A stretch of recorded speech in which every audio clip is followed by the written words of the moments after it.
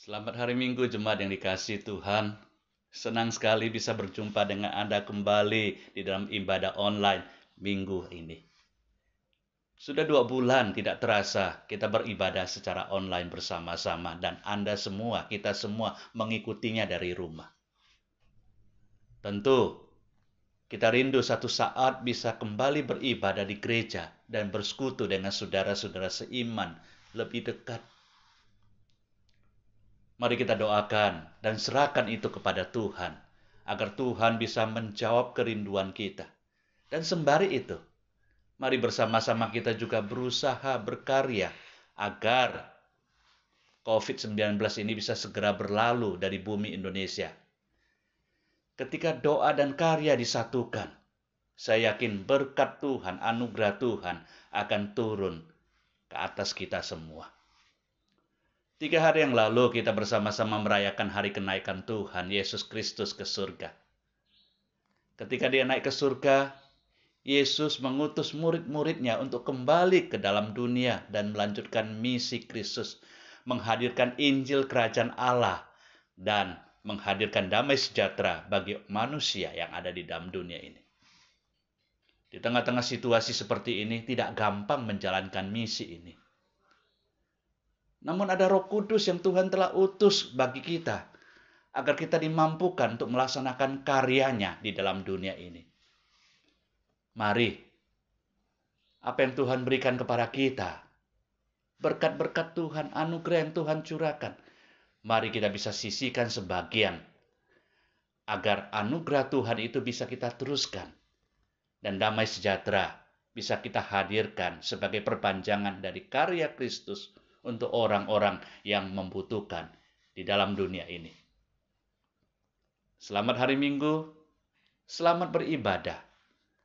Saya berdoa kekuatan dan anugerah Tuhan menaungi Anda melalui ibadah pada hari ini. Tuhan memberkati.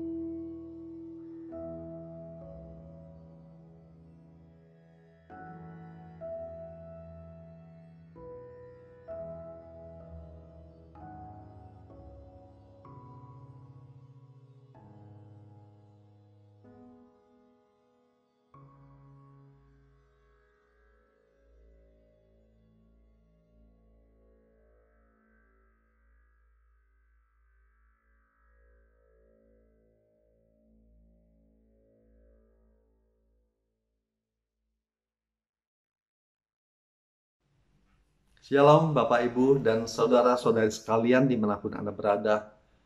Mari dalam situasi yang seperti yang kita hadapi saat ini. Kita tetap mencari hadirat Tuhan. Kita bersama-sama datang ke hadirat Tuhan. Beribadah di tempat kita berada.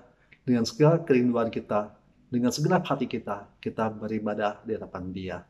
Kasih karunia dan damai sejahtera dari Allah Bapa kita. Dan dari Tuhan Yesus Kristus menyertai kita semua Mari kita bersama-sama berdoa. Bapa di surga, Bapa yang kami kenal di dalam nama Tuhan Yesus, yang telah datang ke dunia, yang telah mengorbankan diri, mati di kayu salib, dan bangkit, dan menjadikan kami sebagai anak-anak yang percaya dan memperoleh jaminan keselamatan, mempunyai pengharapan yang pasti. Dan kami disatukan di mana pun kami berada Tuhan sebagai umat Tuhan kami rindu datang ke jalan Tuhan, kami beribadah, biar Engkau hadir di mana pun kami berada. Kau hadir di tempat kami, di rumah kami. Dan kau berbicara pada kami, Tuhan.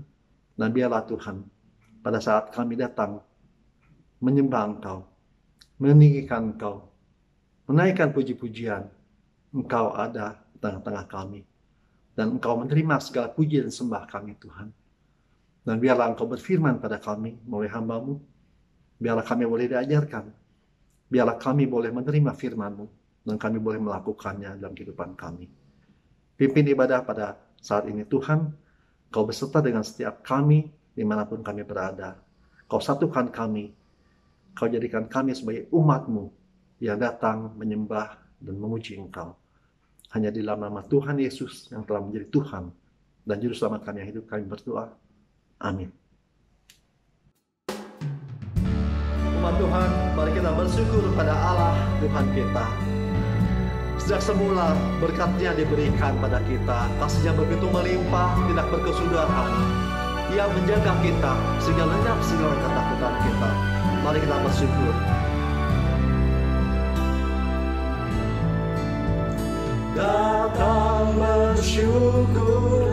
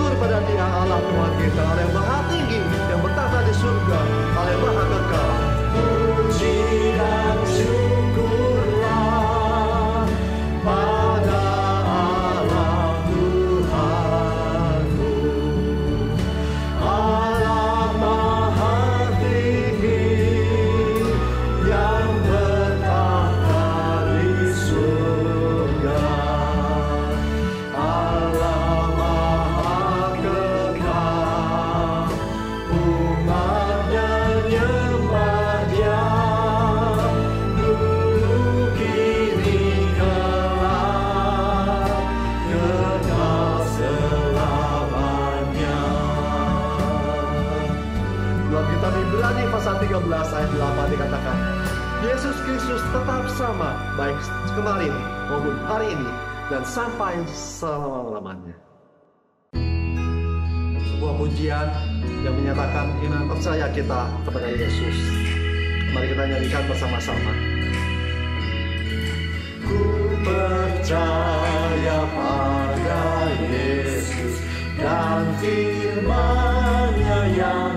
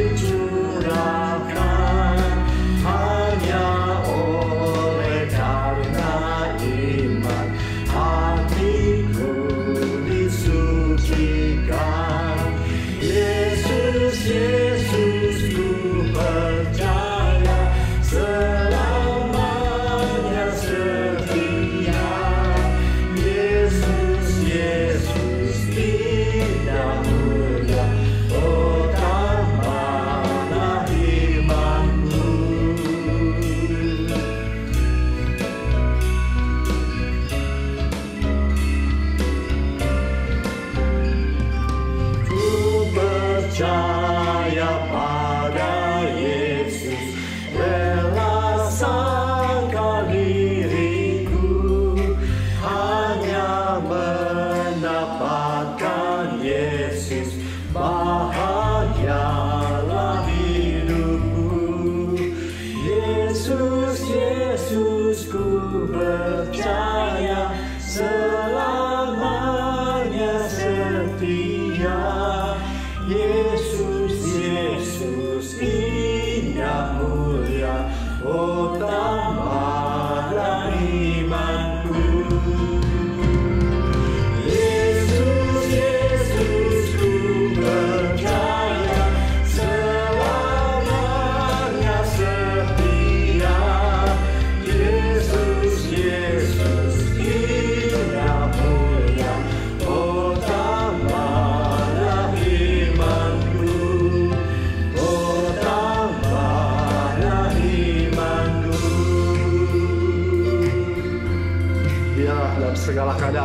kita hadapi sekarang Kita tetap beriman kepada dia Yesus Tuhan kita Amin Salam sejahtera jemaat yang dikasihi Yesus Kristus. Kita bersyukur sekalipun hampir dua bulan kita tidak dapat berbakti di gedung gereja, namun kita masih dapat berjumpa di dalam ibadah online ini. Sekalipun kita berada di rumah masing-masing, kita masih dapat memuji dan menyembah Tuhan serta merenungkan akan firman-Nya. Hari ini perenungan firman Tuhan diambil dari Kisah Para Rasul pasalnya yang ke 1 ayatnya yang ke-12 sampai ayatnya yang ke-14. Kisah Para Rasul pasalnya yang pertama ayat ke-12 sampai ayatnya yang ke-14. Mari kita membacanya.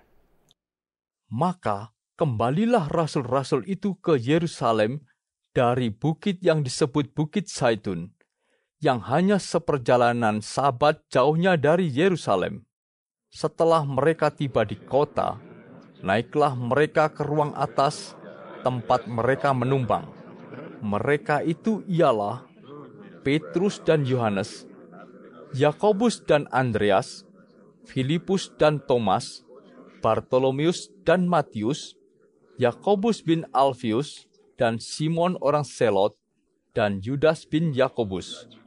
Mereka semua bertekun dengan sehati dalam doa bersama-sama dengan beberapa perempuan serta Maria, ibu Yesus, dan dengan saudara-saudara Yesus. Demikianlah kebenaran firman Tuhan.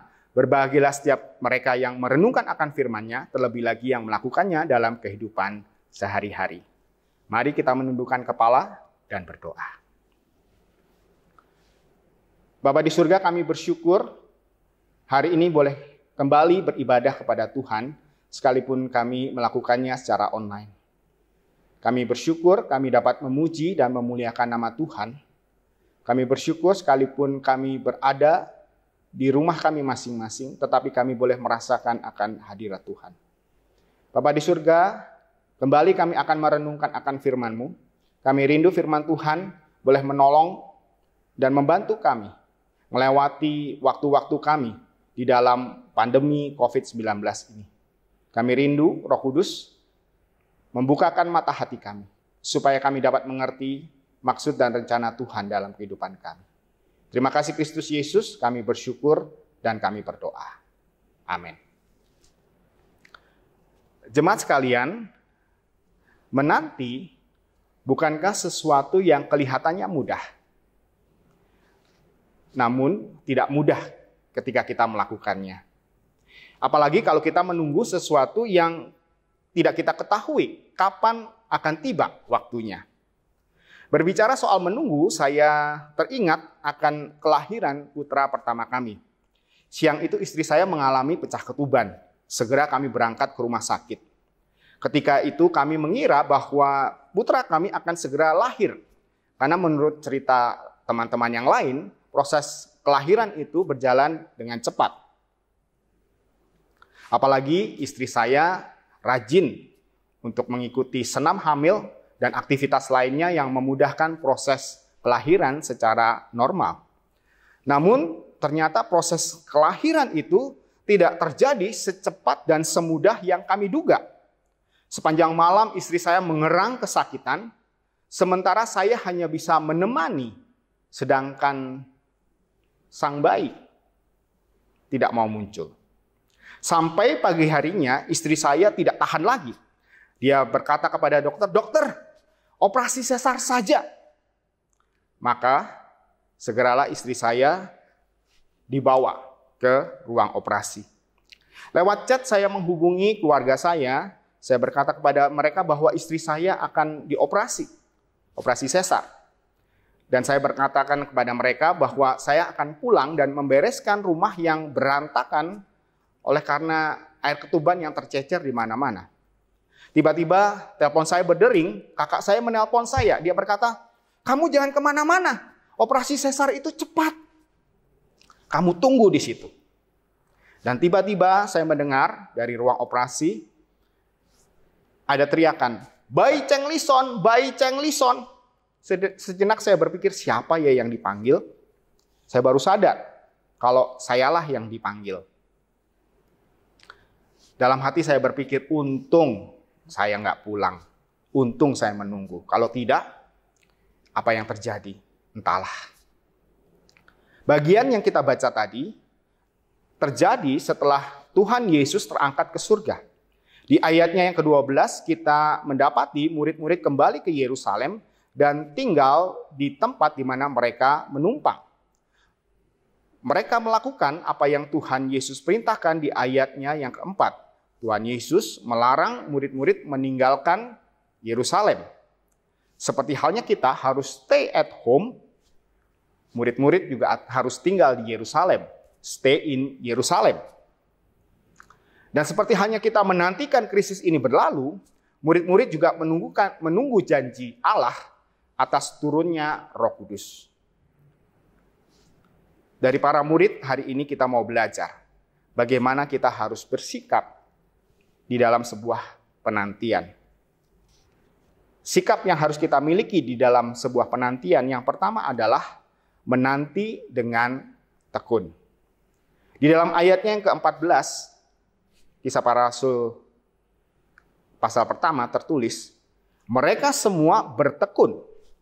Di dalam penantian itu murid-murid menantikannya dengan tekun. Beberapa kali penulis kisah para rasul menunjukkan ketekunan dari para murid dan juga gereja mula-mula. Di dalam kisah para rasul pasal 2 ayat 42, jemaat mula-mula bertekun di dalam pengajaran rasul-rasul dan di dalam persekutuan. Kemudian di ayatnya ke-46 di pasal yang sama, mereka juga bertekun berkumpul tiap-tiap hari di bait Allah. Kata tekun memiliki pengertian mau bertahan, terus tabah, dan siap menunggu hingga waktunya tiba. Dengan demikian, ketekunan sesungguhnya adalah sesuatu yang membuat kita sanggup menunggu sampai apa yang kita harapkan itu terjadi. Beberapa bulan yang lalu, saya harus memperbaharui salah satu uh, paspor daripada salah satu uh, anak saya. Paspornya sudah hampir habis masa berlakunya. Dan seperti biasanya, saya memperbaharuinya dengan mengurusnya sendiri. Namun berbeda dengan kebiasaan sebelumnya, kali ini saya harus mengambil nomor antrian secara online melalui aplikasi yang ada di handphone. Tetapi ternyata mendapatkan nomor antrian secara online itu tidak mudah. Selain jaringan internet yang lelet, kuota yang disediakan itu terbatas. Namun permintaan cukup banyak. Setelah saya berulang kali mencoba, saya gagal. Seorang teman menginformasikan bahwa nomor antri online ini sebenarnya bisa didapatkan melalui calo dengan memberikan sejumlah uang. Namun waktu itu saya berpikir saya mau coba sendiri. Saya coba, saya coba. Sambil mencoba, saya berdoa, namun tetap saja gagal. Dalam hati saya berkata bahwa saya yakin bahwa Tuhan akan menolong saya seperti Tuhan menolong saya sebelum-sebelumnya. Namun hati saya gusar karena berulang kali saya mencoba namun gagal. Saya terus ber, saya terus mencoba, saya berdoa dan tetap saja gagal. Sampai satu waktu saya berkata kepada istri saya, kalau sampai akhir bulan ini saya masih gagal mendapatkan nomor antrian paspor ini, saya akan coba pakai calo. Dan akhirnya saya mencoba, mencoba, dan mencoba sampai satu siang ketika saya mencoba kembali, saya mendapatkan nomor antrian itu. Dan akhirnya paspor daripada anak saya pun bisa diperbaharui kembali. Jemaat sekalian, bertekun atau menunggu sesuatu yang tidak kita ketahui akan batas waktunya, tentunya tidak mudah bagi kita. Sekalipun kita berpikir bahwa Allah akan membantu kita seperti apa yang selama ini Allah sudah lakukan, namun perasaan kita itu tidak dapat membohongi kita. Kita gusar, kita tidak sabar menunggu waktu yang Tuhan berikan kepada kita. Ketika kita membaca bagian ini, kita berpikir bahwa para murid waktu itu dapat bertekun karena hanya setelah 10 hari, akhirnya roh kudus yang dijanjikan itu turun. Namun jemaat sekalian, sesungguhnya para murid tidak tahu bahwa 10 hari kemudian Roh Kudus akan turun. Sesungguhnya mereka menanti di dalam sebuah ketidakpastian. Mereka menanti dalam waktu yang tidak mereka ketahui kapan itu akan terjadi. Akhir daripada wabah COVID-19 ini sesungguhnya juga tidak kita ketahui. Setelah sekian lama kita berjuang melawan pandemi ini, dampaknya mulai kita rasakan. Bahkan hal yang buruk bisa saja terjadi. Dan kalaupun nanti PSBB akan berakhir, kehidupan kita tidak akan kembali lagi seperti sedia kala. Kita akan mengalami apa yang disebut dengan new normal atau kelaziman baru. Dalam penantian dan situasi yang tidak menentu, kita memerlukan ketekunan. Kita perlu bersabar menunggu waktu Tuhan karena kita tahu Allah yang dulu telah menolong kita, pasti juga akan menolong kita sekarang dan juga nanti. Selain menunggu dengan tekun, kita juga perlu menanti dengan sepenuh hati. Masih di ayat yang ke-14, kisah para rasul memberitahukan, memberitahukan kepada kita, mereka semua bertekun dengan sehati Ternyata murid-murid tidak hanya bertekun, tapi juga sehati. Mereka tidak hanya bertekun, mereka juga sehati. Kata sehati memiliki pengertian bahwa mereka memiliki satu pikiran atau satu kemauan. Gambarannya adalah seperti sebuah orkestra yang meskipun terdengar berbeda, namun ada keselarasan di dalam lagu dan di dalam nada.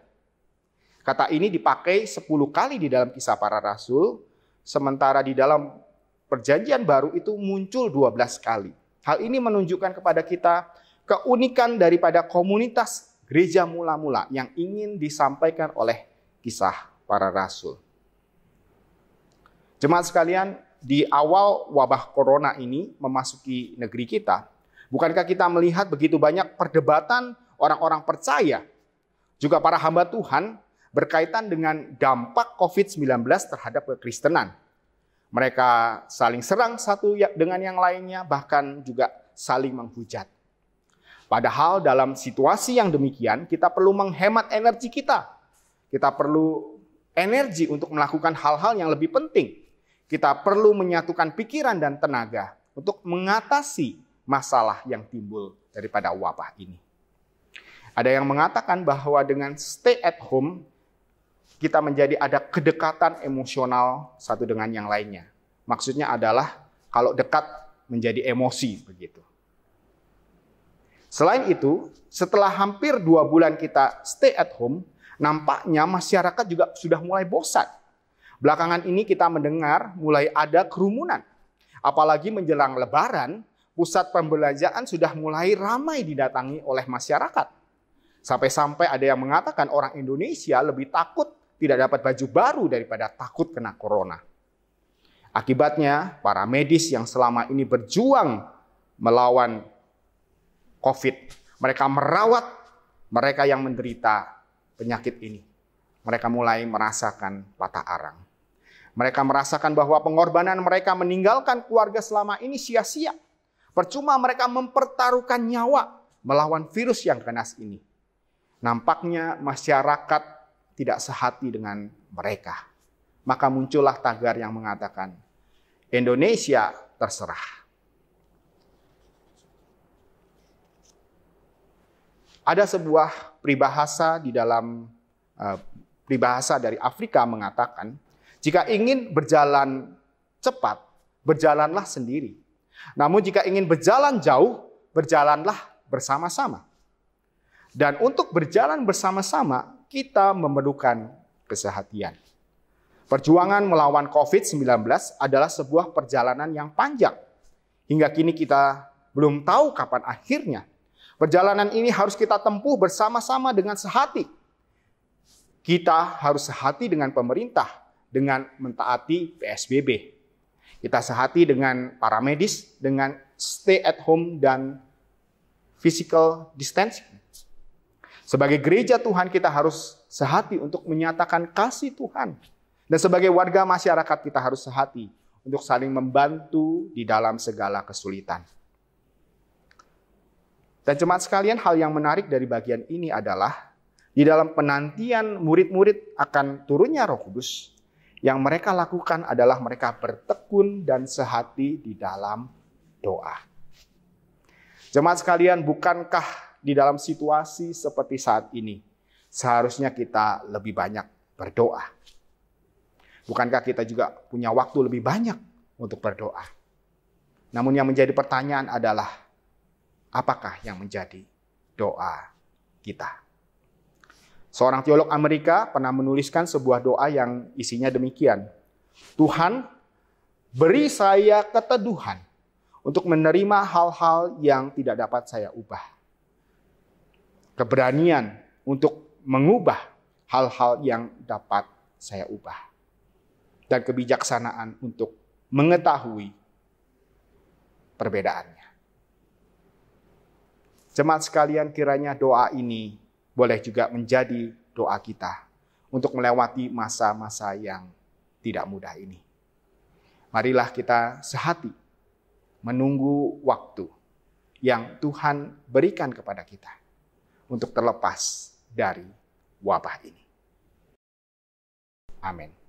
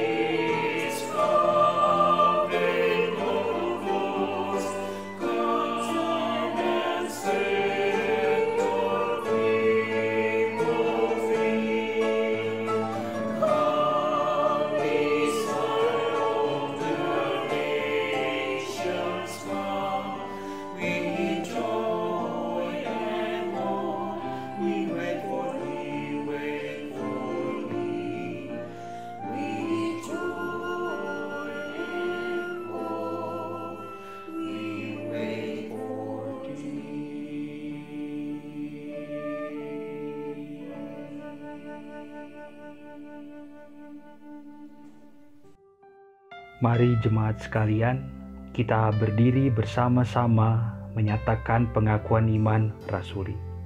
Dengan gereja di segala tempat dan abad menyatakan demikian.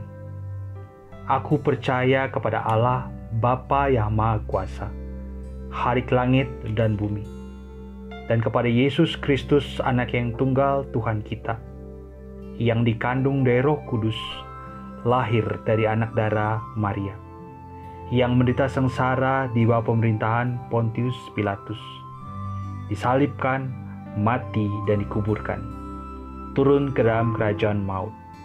Pada hari yang ketiga, bangkit pula di antara orang mati, naik ke surga, duduk di sebelah kanan Allah, Bapa yang Maha Kuasa.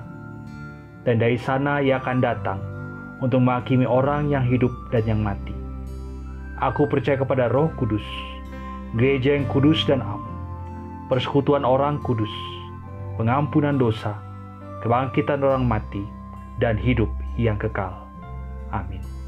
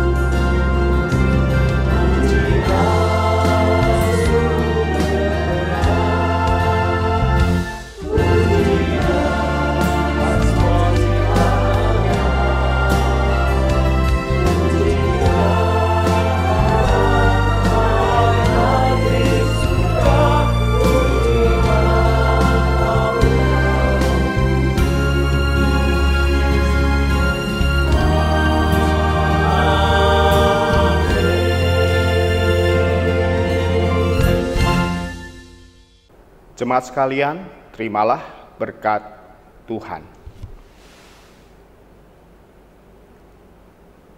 Tuhan memberkati engkau dan melindungi engkau. Tuhan menyinari engkau dengan wajahnya dan memberi engkau kasih karunia. Tuhan menghadapkan wajahnya kepadamu dan memberi engkau damai sejahtera. Amin.